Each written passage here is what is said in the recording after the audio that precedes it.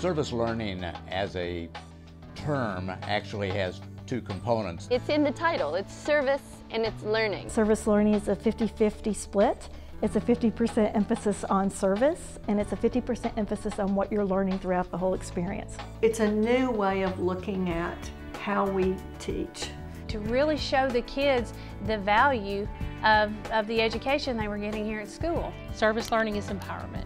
It gives all the participants a voice. It changes who we are as a people, how we lead, and it changes whole community landscapes by how the community is taken care of and how it's taken to a new place. It's nothing you do in the classroom.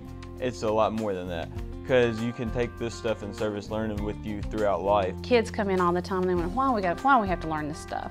And if they don't see that in context, it's really hard for a fifth grader to understand why they really need to uh, learn. So I got real experience rather than just saying, oh yeah, I read this in a book once. Unless they have service learning opportunities, they are not really sure maybe how to apply what they've learned. The cognitive thing is made real and memorable by adding a service component to it. You actually do the stuff. You don't talk about it, you don't take notes over it, you actually do it. It makes the core classes make sense to students, whether they're fourth graders or 12th graders. And I realized that everything that I was learning with relationship building and all the written stuff in books didn't really come to life until I was able to put it into practice. I think that that gave me a better grasp on what to expect when I do get out into the real world. It bridges the experience gap. Education comes and looks at how do we connect the dots to academics. Youth serving agencies come to service learning with that lens of how can I help this young person grow. I think it's integral to get that student into the community giving them the voice and the leadership skills to meet needs and that's how not only will they learn but they'll already become a, the very member of the community that you're preparing them to enter into. We have to do something to keep our best people here and the best way to do that is get them to care. As service learning helps promote things like problem solving skills, students' abilities to work in a team, to work in diverse environments, to try to synthesize and apply information um, on their feet while they're working on a dynamic project.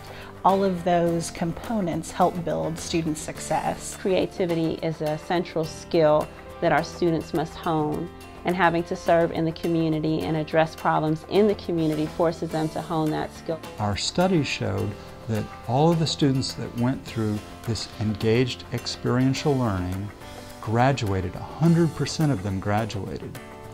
And the average for a student not involved in that was less than 40%.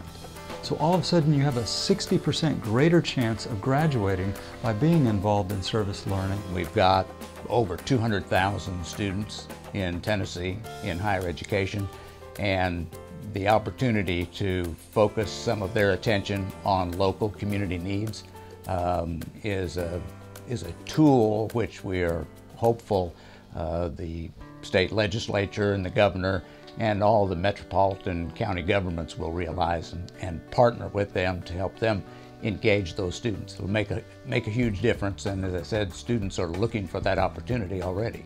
An institution like a university within the community, I think they have a responsibility uh, to be engaged with that community. I feel like the colleges within universities should be giving things back to the community, say like the College of Business, helping people with their accounting and helping them with their um, taxes and things like that. If we're going to do it well, it can't be on Fridays. Uh, and it can't be a, a monthly event. It's got to be a process of learning, and learning is every day. I think we should do these more often, like try to do one every day as much as we can. The nation has endorsed academic service learning and it's up to us, the champions of it, to continue to keep it in the forefront.